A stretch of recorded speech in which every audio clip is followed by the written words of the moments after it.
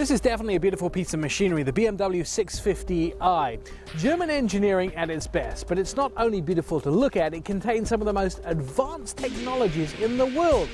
We're talking about jet fighter technologies that project things onto your windshield and things that make this vehicle able to see in the dark. The heads-up display takes key information that is usually displayed on your gauges of the dashboard and displays it in the vehicle's windshield. BMW and General Motors are two manufacturers who have adapted this technology in a big way. The BMW 650i puts your speed and navigation onto the windshield, so you don't have to take your eyes off the road when looking for that information. It is not only for convenience, but safety too. It takes the average driver one second to look down from the road at his or her gauges, but at 60 miles an hour, your car could have traveled as much as 91 feet in that time. That's almost the length of seven cars. BMW is also coupling the heads-up display with its night vision system. The system can see in the dark and warns the driver of any approaching danger located outside the range of the headlights. An infrared camera positioned behind the grille reveals objects up to a thousand feet ahead of the vehicle. Pedestrians and cyclists are identified and highlighted on the control display. Three processors simultaneously calculate all movements outside the vehicle in potentially dangerous situations. An acoustic signal and a visual warning sign immediately make the driver aware of the problem so he or she can react in a timely manner.